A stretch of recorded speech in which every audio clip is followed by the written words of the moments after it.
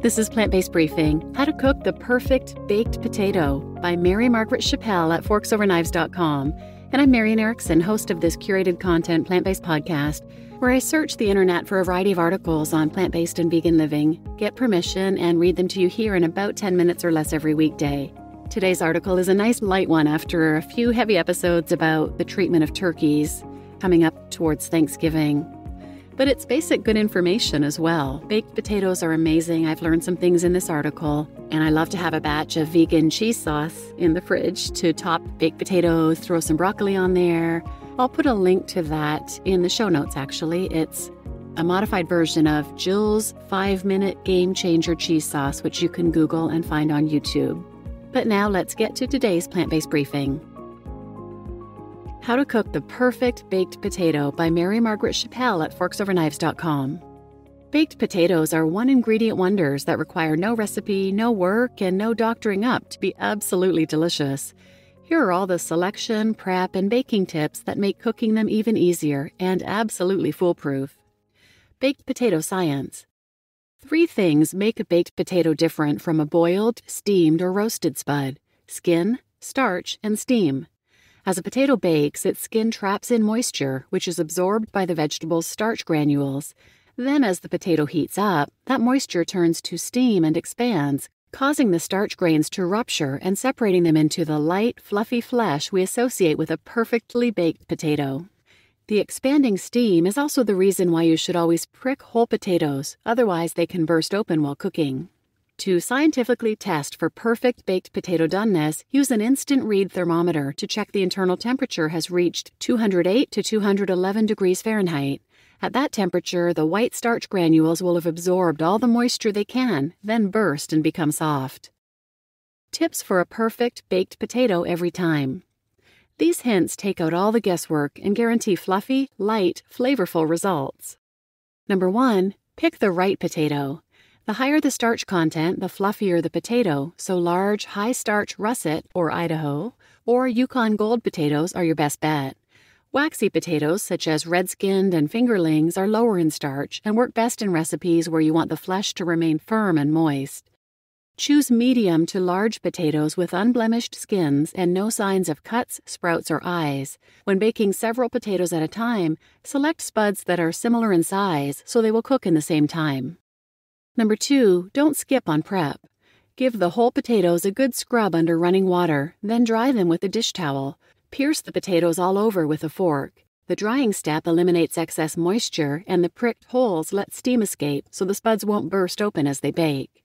Number three, use an oven that's hot, but not too hot. Potato baking temperatures range from 350 to 450 Fahrenheit. The sweet spot seems to be at 400, a temperature that cooks the potato all the way through and crisps the skin without singeing it.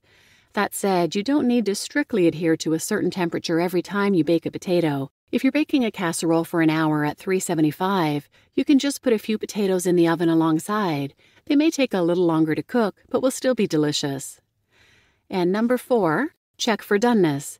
Baking potatoes come in many different shapes and sizes, so it's always best to make sure a baked potato is cooked all the way through before serving.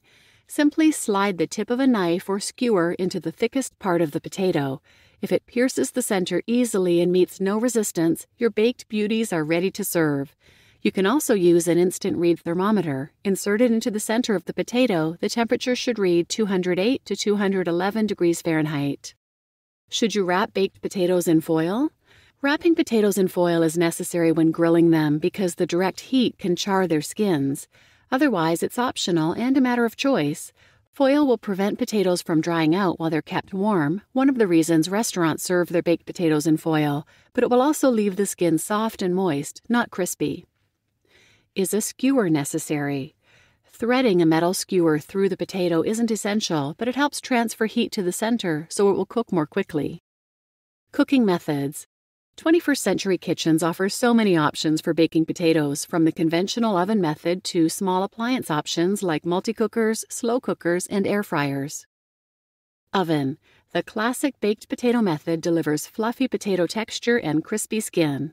Instructions Place scrubbed, pricked potatoes directly on the rack of a preheated 400 degree oven or toaster oven.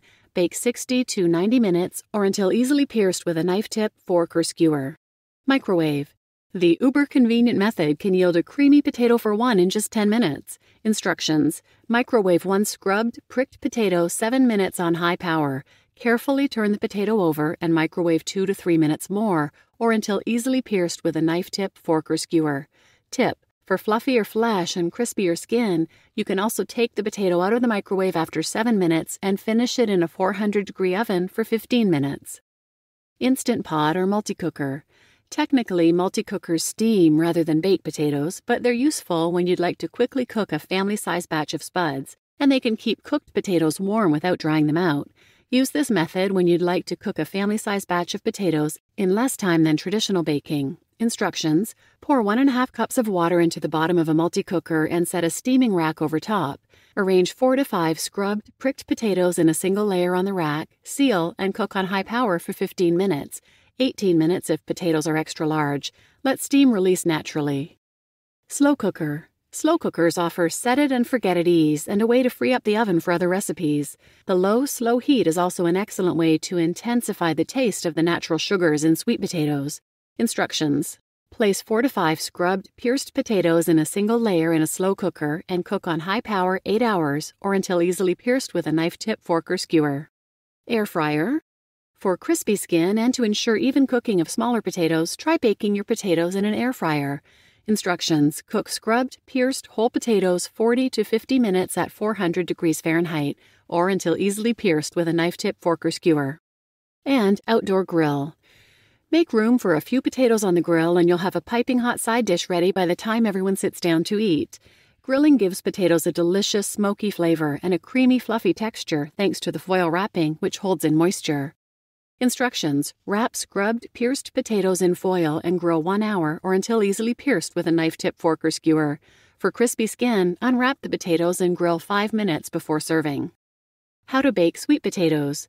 All the techniques, temperatures, and times listed above can be used to bake sweet potatoes. Sweet potatoes are higher in moisture and lower in starch than white potatoes, so their texture will be slightly different. They will remain creamy and soft when baked rather than turn dry and fluffy. Be sure to test them for doneness the same way you'd test white potatoes. Our favorite baked potato recipes. You can pair a baked potato with just about any filling and turn it into a meal. Here are some delicious ideas from Forks Over Knives, linked here 40 plus spectacular spud recipes to supercharge your day.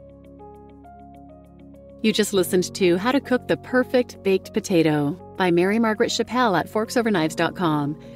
And I'm Marian Erickson, your host, and we like to eat a lot of potatoes. We like to batch cook them ahead of time and keep them in the fridge and reheat them. And if you're interested, there are actual benefits to doing that. And you can check out episode 241 from nutritionfacts.org called How to Reduce the Glycemic Impact of Potatoes and the Healthiest Type of Potato. And episode 224 Glycemic Index of Potatoes Why You Should Chill and Reheat Them. I'll put links to those in the show notes as well. And my favorite way to batch cook baked sweet potatoes is to simply slice them in half, place them cut side down on a Silpat or parchment paper, and bake them in a 400 degree oven for 40 to 45 minutes until the skin starts to loosen and you'll see them caramelize all over the baking sheet. They are so delicious. We keep those in the fridge and heat them up and just put a little bit of almond butter or something on top, and they are amazing. Makes a great snack or even a great breakfast as well. So please share this episode with anyone who might benefit, and thanks for listening.